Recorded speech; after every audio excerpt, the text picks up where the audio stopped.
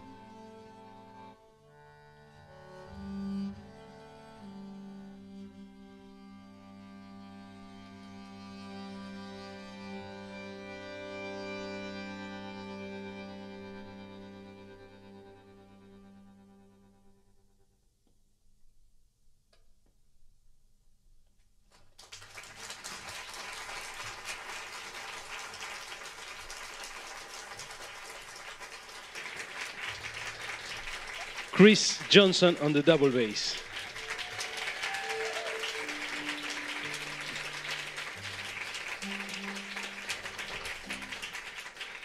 And so the next piece I want to play is uh, one of my first uh, composition, and it's a piece I wrote uh, in Argentina in a very particular time. Uh, it was 2001, 02.